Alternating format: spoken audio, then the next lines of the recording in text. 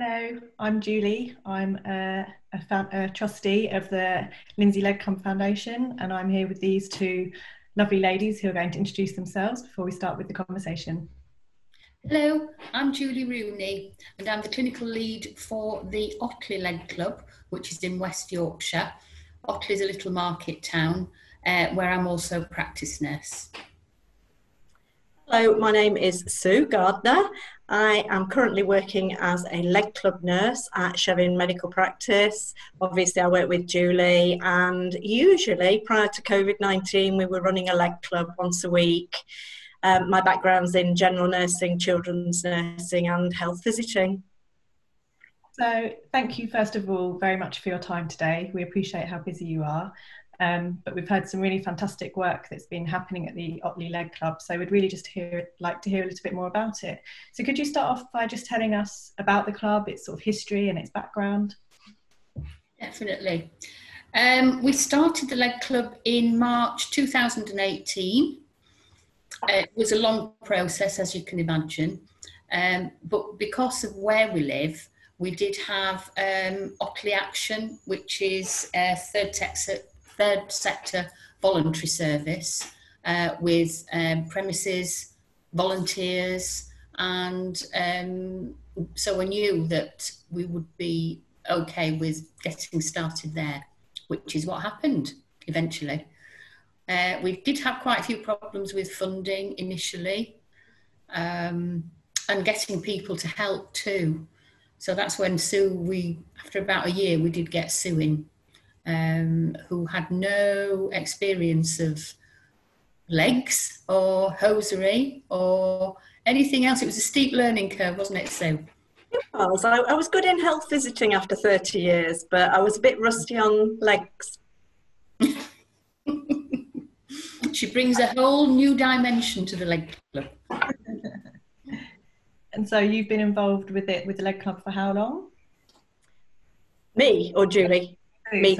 Uh, probably about 18 months. Yeah, 18 months. But we have quite a few members, don't we, Julie? We've got about 297 members in total. 297? Um, wow. Yeah, and, and it's sort of split in between people who come for medical needs and their dressings and people who come for the social side. Uh, and we've got a cracking uh, social side to the club, haven't we? We have indeed yeah, we've got some fantastic volunteers. Um, we have one volunteer who plays the guitar. We have volunteers that pick the people up who are housebound on the, the bus, so we have access to that. So even if they don't want to come to have their legs done once they've healed, they can still come uh, and enjoy the social afternoon. Um, we have podiatry. Um, what else do we have, Sue? It's so long since we've been there thinking of all the um, um, allied foot health industry partners that are there, aren't they? And the yeah. district nurses. Yes.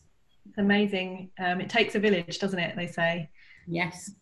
Um, and we couldn't have this conversation without talking about what's happened here and around the world in the last six months. Mm-hmm. And, and, I'd be really interested to hear from both of you how that's impacted on the on your Otley Leg Club. Yeah. Well, like the same for everyone. We had two days' notice that we had to close. That was on the Monday. Our leg club's held on a Wednesday. Um, so we knew that people would be coming on the Wednesday. Um, we didn't know how many, what would happen. Uh, so we turned up. And I think we had two people that that day, didn't we, Sue? The last day. Oh. Uh, the district nursing team were fabulous. They literally took their patients back. Of course, we had a lot of patients that would be shielding, so we had to arrange for the district nursing team to just literally take over, which they did in 48 hours, which was amazing. Mm-hmm. And we had to close. And that was the last afternoon that we've been there. We were due to um, move our premises because we're in um, a very old building that at the moment is being refurbished. Um, so we were actually set to move to a community clinic. I think it was the week after, and all that was put on hold mm. too. So at the present time, we've no premises. Um, we've no leg club as it was, but I will leave Sue now to explain what happens or what has happened in the last few months because I was determined to keep Sue and we'd got funding for her, which was, you know, a real big um, mountain to climb. And once we'd got that, I didn't want to say, we can't, you know, we can't use you, Sue. So this is what Sue does now. So we decided, um, we looked how many people we had coming regularly each week to the leg club and it was actually something like nearly 40 people every single week. And it was roughly divided 50-50 so 50% were coming for the social activities the sing song the raffle um, afternoon the, the, the afternoon tea they get cakes ham sandwiches um, various little goodies. And the other 50% were obviously coming for leg dressings, moisturizing, fitting hosiery, the actual dressing side of things, or podiatry. Um, so we decided it was a great opportunity whilst the club was shut just to have a look at the numbers on the leg club to see what sort of care people were getting their thoughts and feelings about the leg club um, and to see whether they felt that their needs of their legs were being met. So we just I just did a little bit of a telephone call around um, the 19 people who needed um, medical intervention to see what had happened to them the district nurses caseload had gone up immensely by about 30 or 40%. So they were taking on all of the patients who were having to shield or to, to be housebound and seeing them at home. Um, our caseload as practice nurses had gone down a lot, and 40% of people who were having dressings had to self care. And, we paved the way for that, for them to self care either teaching them how to do their own dressings, wearing hosiery that they could fit themselves, um, or if they were able to do dressings themselves, that was the the other thing that they did. So that was one aspect. Um, we looked very much at whether people thought they were having the needs of their legs being met, and over a third said they didn't feel that the needs of their legs and feet were being met. And on questioning, um, they said things like, Oh, my toenails are growing too long, curving over, and I can't cut them. Or the elastic's gone in my hosiery and I can't get any more. So it was all things that we could support with and we could help provide things um, for their unmet health needs, which which we did. Um, the other aspect that we talked quite a lot about was what Leg Club had meant to them. Um, you know, were they missing it? Is it something they enjoyed? And and it was just amazing that the stories that they came out with, like Julie said, they get if they can't walk or they can't drive, they get door to door transport on a minibus, which they do pay £3 for, and that's provided by Otley Action. So they said things like that they were missing the banter as a start off on the minibus, the laugh and everything with their friends, the missing meeting their mates some people said it was the only time that they got out every week to come to the leg club, which I was totally shocked by the fact that that's their social event for, for the week. Um, they said how much they enjoyed um, the contact with the nurses. They felt they were getting good nursing care. They liked the fact that the district nurses were working with the practice nurses and the leg club industry partners so that they felt that we looked at different ways of working and we made sure that they we got the right treatment for their leg.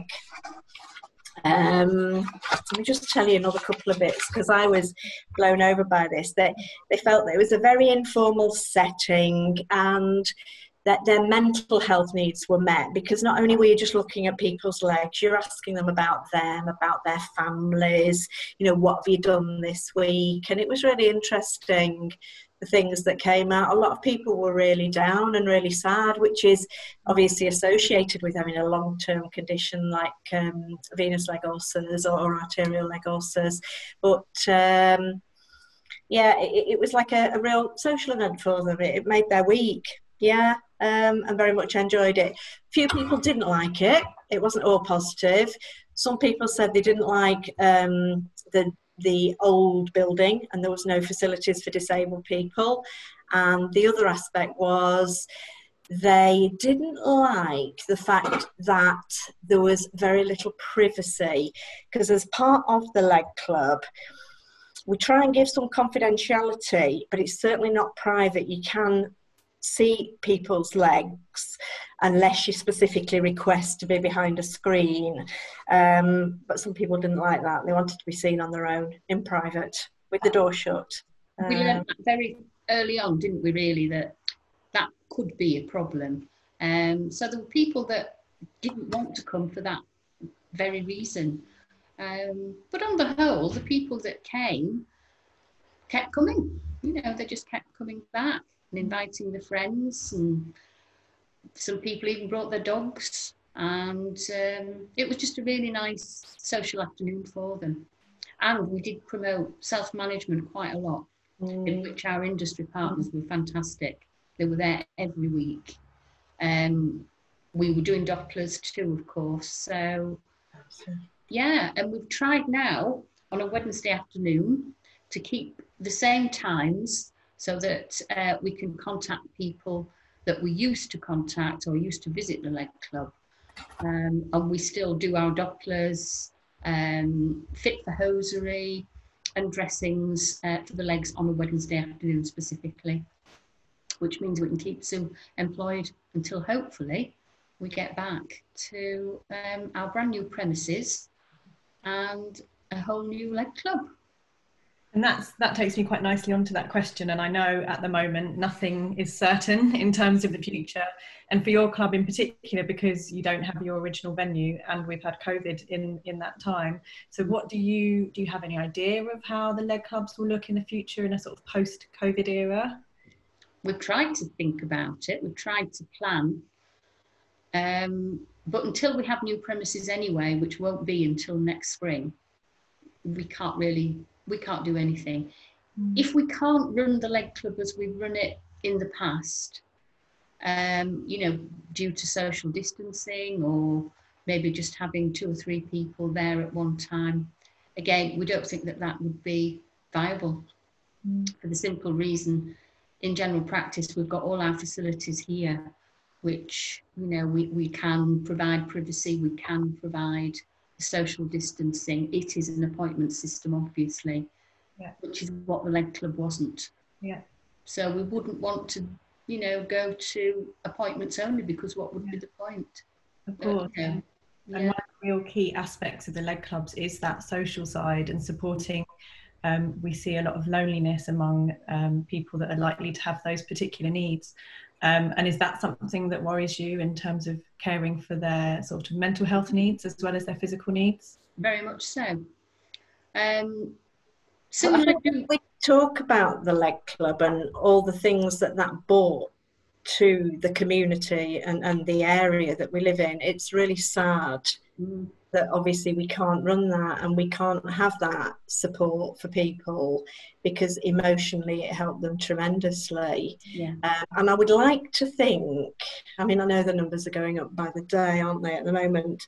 But I would like to think maybe in the next six months, once we have premises and it's open, we can get together. Um, the practices, the district nurses, the Otley Action, infection control and look at some way it might not be run in the same way but and i know it's got to be run safely um, but there must be some other way of, of, of running it that hopefully can try and meet some of those needs again rather than just having it in the surgery like we have it at the moment. It's really sad. It is. It is. I think and I hope that people can, will come together and, and maybe share different ideas and suggestions for a new way of working. And you know, we've all got to adapt and change to this new sort of social distancing approach to life, which isn't really natural for any of us. Um, and hopefully, we'll be able to come up with some solutions. I think even the process that you talked about of calling um, members up and having that conversation with them on the phone, while it was useful for you to gather that information, I'm sure it was a, a massive bonus to them as well to be able to have some social interaction. Oh, they just love it. I mean, we're very fortunate. Both Julie and I do work for Otley Action. We volunteer for Otley Action in our spare time, but people are very appreciative, you know, and we phone them most weeks uh, as a social contact. And sometimes you know, it's understandable they're very down and they're very lonely, but you can't get them off the phone. They're constantly on the phone. They just want to talk to you. And it doesn't matter about what, anything, reminiscing. They just enjoy that. Mm. So there's a real social need out there, but we need to make sure, obviously, it's a safe environment yeah. for all. Yeah. I'm, I'm wary of time, so we'll wrap up. I just wanted to ask you one more thing to both of you as health professionals working through COVID, how you're coping and if you've sort of found any coping mechanisms to help you get through this very difficult period. Well, I think for me, because um, I wasn't furloughed, I worked from day one. Um, and Sue obviously came in uh, almost immediately to the surgery too it, we've not known much difference really. We've just had to get on with it. I think there's been, um, there was a lot of fear in the beginning. I have to say, being the age I am, mm. um, that initially I just thought I, I, I don't want to be working in this sort of an environment. But as time has gone on, you know, it's sort of, it is the new normal. So, you know, people can't just now come into the surgery, they have to have an appointment, they have to ring first. Um, and like Sue and I now are working in different rooms, we can't work in the same room, not without full PPE anyway. Mm-hmm. And that's and there are there are new ways of working, aren't there? You know, like taking photographs of, yes. of wounds, which we should have probably done before anyway, but but using um, additional things on on SystmOne where we can send um, text messages to people and they can reply with a text and a photograph back to us. Um, and we, we still have the support which I could not manage without from the leg and industry partners because we still need to fit wraps or hosiery and that wasn't something I was familiar with doing on my own before. So every Wednesday afternoon we have like a hotline to um, one of the reps who helps support. I do lots of measuring and then she tells me exactly what size hosiery or wrap systems we should be um, su- supplying for, pay- for people and then they come back and we make sure that they fit them correctly.